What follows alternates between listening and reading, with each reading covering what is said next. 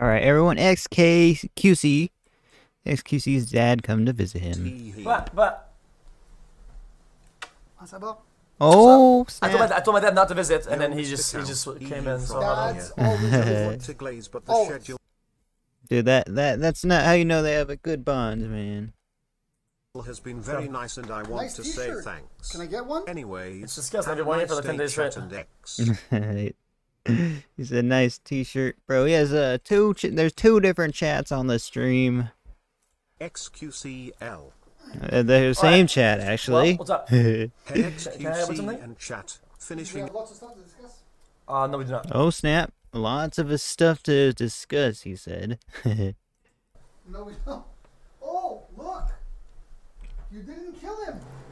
He's still Dang, XQC's room is goals, man.